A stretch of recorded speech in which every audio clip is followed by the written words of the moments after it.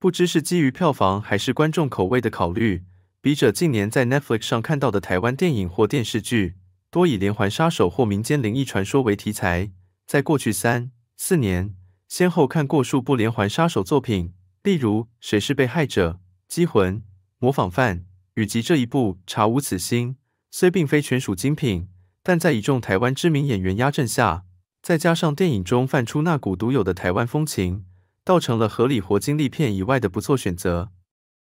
连环杀手片自一九九一年的合理活金像奖得奖电影《沉默的羔羊》（The Silence of the Lambs） 开始发扬光大，近三十年以来竟成了异军突起的另类侦探片类型。他们着重研究行凶者的犯罪动机，分析为何其目标多为一群互相不认识的无辜者，当中便涉及不少犯罪学及社会风气等问题，让编剧可以借此天马行空地将不同背景。性别、年龄的人塑造成冷血杀手，大大扩阔了故事的范围及层面。而这套台湾经历侦探片《查无此心》，其故事结构也跟《沉默的羔羊》有六七成的相似。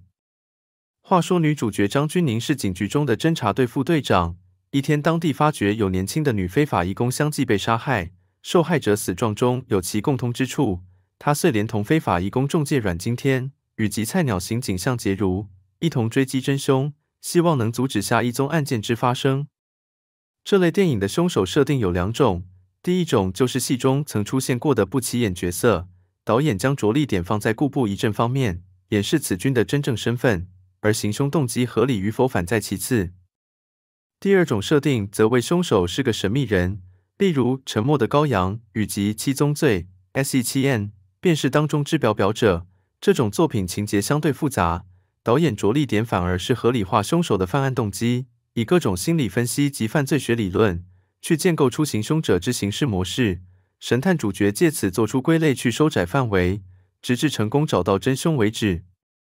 本片便属于上述的第一种表达手法，所以笔者便能简单的集排除法于骗子的中段成功猜到凶手是谁，剩下来的部分仅是看看导演及编剧用什么把戏。如何进一步合理化其行凶动机而已。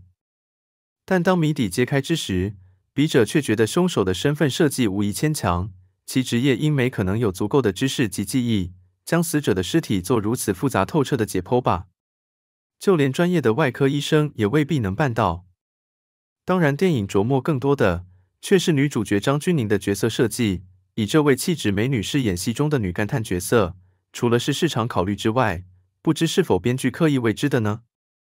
只见身材纤瘦的她，数次制服不了迎面而至的壮汉，更惨被对方又拖又拉。而且这位女神探，尽管经验丰富，能在茫无头绪的资料中找到线索，但却缺乏随机应变之机智，屡次做出仓促且冲动的决定，不但给疑犯轻易逃脱，更差点累死了身边的人。笔者便极担心她由于判断错误，连累那位娇小可爱的菜鸟被凶徒弄死呢。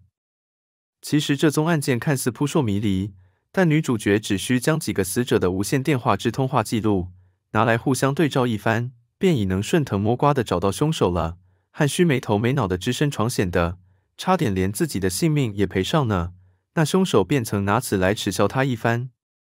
而丈夫在车里自杀，给予她极大的精神打击，但电影却并没有交代这个男人之轻生原因。笔者跟着在网上翻查资料。方德熙这位先生是女主角的同仁及其警队队友，但却非正队长，而女主角则是副队长。笔者遂忍不住天马行空地胡思乱想：是否由于女主角表现良好，职级高于丈夫，后者感到羞耻而自杀，所以女神探才会如此悔疚呢？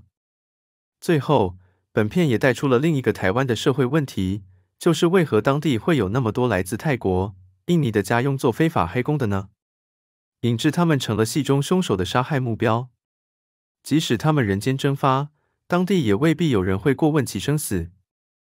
答案可能是由于此处采取保护主义，为了保障当地人就业权益，聘请家佣之门槛便被定得甚高，几近于没可能。故此，那些拥有老人小孩的家庭，当希望找人照顾家中老少之时，便唯有聘请这些黑工代劳了。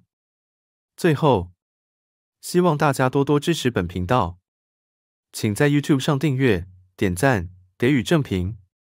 谢谢。